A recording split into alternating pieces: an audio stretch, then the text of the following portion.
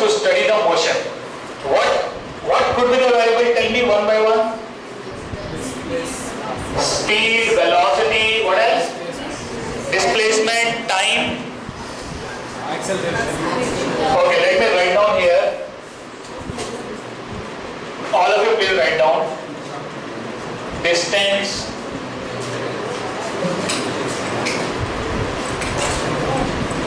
have little bit space between the two distance. We'll be writing something else also. Displacement, after that, speed, then velocity, acceleration. Anything else? Somebody said deceleration. Is deceleration, we need to study deceleration also? Deceleration is an acceleration in opposite direction of initial velocity. Remember that. Okay? So acceleration, if, I mean, it's just a name, it is a convention. It is also an acceleration. It is also an acceleration only. But the direction of acceleration is opposite to the initial velocity. Then we, for the sake of convenience, we call it deceleration. So, my request is forget about deceleration. Because mathematically there is nothing called deceleration. Everything is acceleration. Positive acceleration or negative acceleration. Why it is negative acceleration? Because direction of velocity you have taken as positive. So deceleration will become negative. If you assume direction of velocity to be positive, deceleration will become negative because it is in opposite direction of velocity. Okay? But if you take direction of velocity to be negative, your deceleration will become positive. Okay? So keep your uh, thought uh, process open like that. Okay? So don't always assume that deceleration means negative. Don't use any thumb rule like that. Okay? Anyways, we are going to study, but apart from this, apart from these, we are missing out on a most important motion variable. Huh, time is one of the most, one of the most, but still, still the most one is not there. Kinetic? No. Direction will be taken care of. That, see, that he said direction, direction of motion. When I say velocity, what velocity will have an information of direction of motion on as well? Mass of an object. Mass of an object represent what? It represents inertia. You are getting into cause of the motion. No. Aja, tell me whether an whether a, a small ball is moving with 2 meter per second or an elephant is running, with 2 meter per second, both of them will be at the same location at the same time, at the same time. Yes or no? So it doesn't matter what is the mass. If velocity, acceleration and all these variables are same. Getting it? So mass is not a factor which will be there in the kinematics. Huh? You're close, but then you must know, you must know what is the location of an object right now. Relative to space.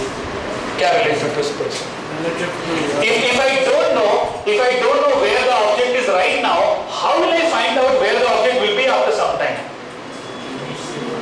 Right? So location, location of an object, position of an object. Okay?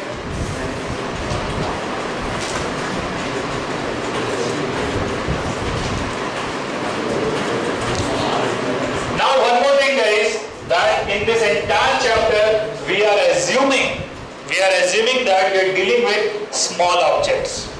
Even if I say, this, uh, you know, there is one elephant running, you have to assume that there is a point object which is running. If I tell you distance between elephant and a boy is 5 meter, don't ask me whether from front leg or from the back leg, no. Or from the tail, no. Entire elephant is a point. If I say that distance between elephant and boy is this much. Okay. Okay, so these are the motion variables that we have to whatever. Something did something. Someone did. Okay, now let's take them one by one and study it.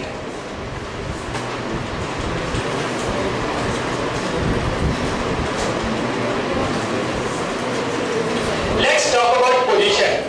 How you fix the position of an object, uh, fixing your frame. the frame of reference. we have not used till now? Yes or no? Whatever is being taught, that. Axis. Coordinates. So, both of them, they are saying that get the coordinates of the point. That is the address of that point, location of the point. Yes or no? Yes or no? Right? How do we know the coordinates of a point? You need to fix the coordinate axis.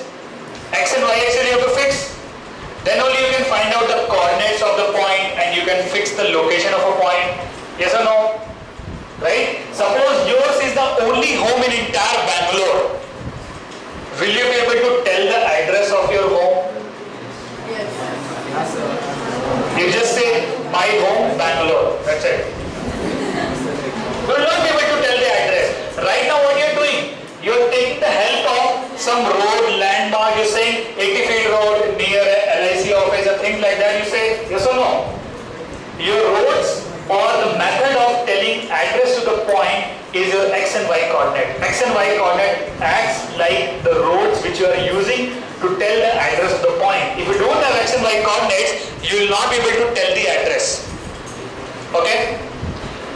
So position, if I talk about position, you can fix the position by assuming a coordinate axis. Let's say I assume x and y coordinate axis. This is A comma B. Okay? So A comma B is its address, yes or no? What is A? A is a distance or a perpendicular distance from the y-axis and B is a distance from the x-axis. Okay? So that's where, that's how you get the address of the point. Alright? Now is there any other way to tell the address of a point? Distance, distance and directional distance. Any other way? Can, can I have a way of uh, telling the position using a vector? Yes. I can draw a vector from here till there. I can say this is my position vector. Have you heard of position vector? This is your R vector. This is your position vector. Okay, so you can tell the address or location of a point by using its coordinate or by using the vector. If you use vector, it will be you know easier for you later on because you're dealing with vector quantities.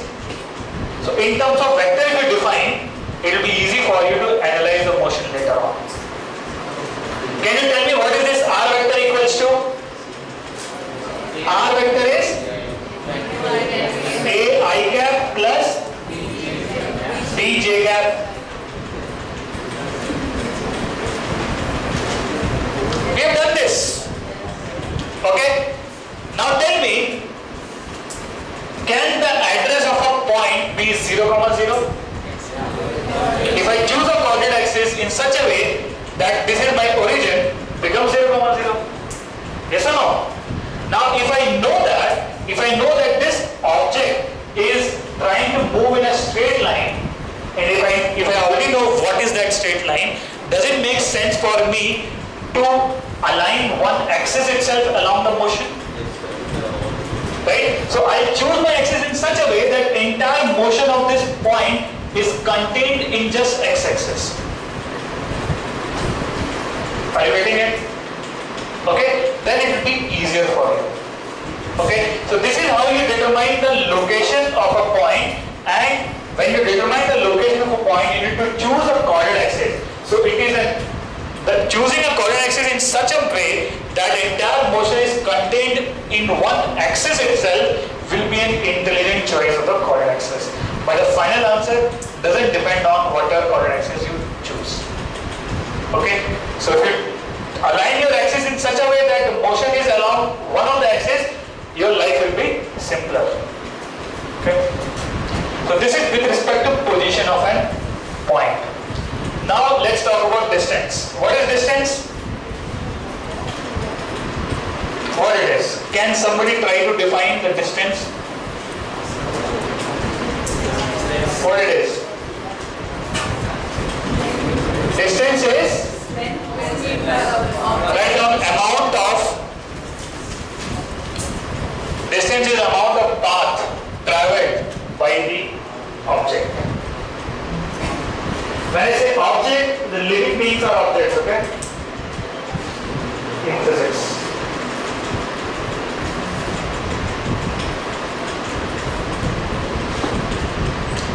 Okay?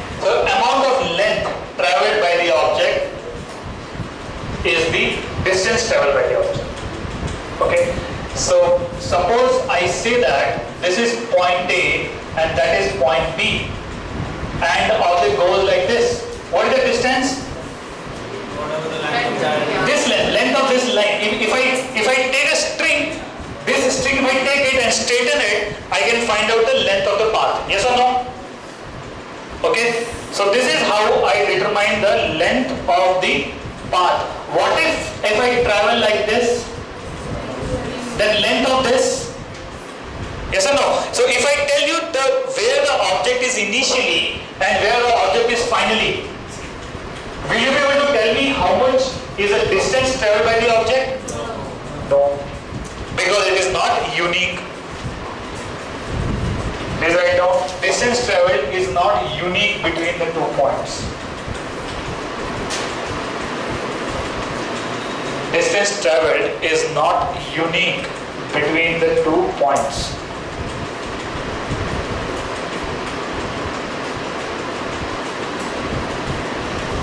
Okay. Right?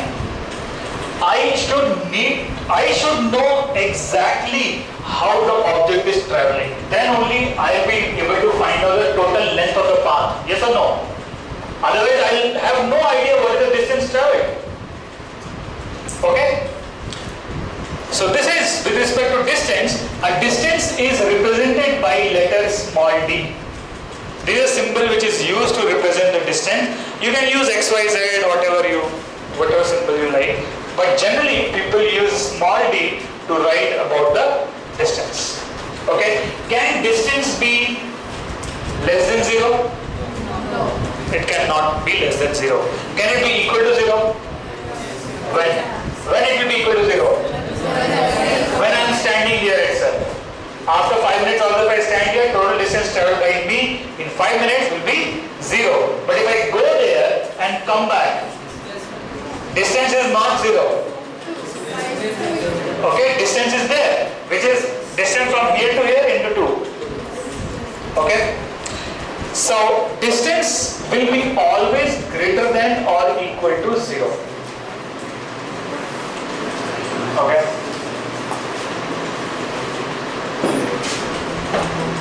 Any doubt for distance? कितना simple है right?